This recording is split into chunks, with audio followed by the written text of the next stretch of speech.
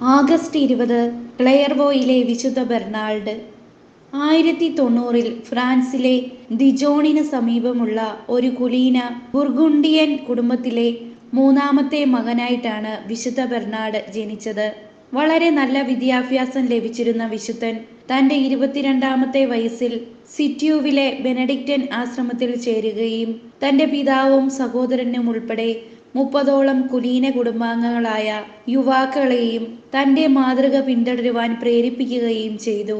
രണ്ട് വർഷങ്ങൾക്ക് ശേഷം ഒരു കൂട്ടം സന്യാസിമാർക്കൊപ്പം വിശുദ്ധൻ ക്ലെയർവോയിൽ ഒരു സന്യാസ ഭവനം സ്ഥാപിക്കുകയും ആയിരത്തി ഒരുന്നൂറ്റി പതിനഞ്ചിൽ അവിടുത്തെ ആശ്രമാധിപനായി നിയമിതനാവുകയും ചെയ്തു.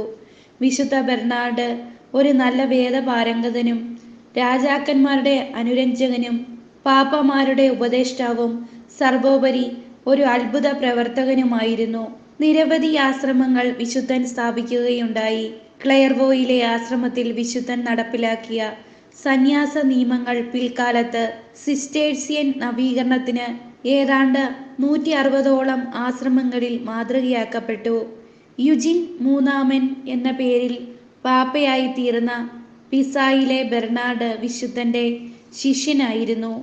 അക്കാലഘട്ടങ്ങളിലെ ജനങ്ങൾക്കിടയിലും രാജാക്കന്മാർക്കിടയിലും പുരോഹിത വൃന്ദത്തിനിടയിലുമുള്ള വിശുദ്ധന്റെ സ്വാധീനം എടുത്തു പറയേണ്ടതാണ്. വളരെയേറെ അനുതാപപരവും കാർക്കശ്യമേറിയതുമായ ജീവിത രീതികളാണ് വിശുദ്ധൻ പിന്തുടർന്നിരുന്നത്. ദൈവത്തെ സ്തുതിക്കുന്നതിലും ആരാധിക്കുന്നതിലും വളരെയേറെ ഉത്സാഹവാനായിരുന്നു വിശുദ്ധൻ.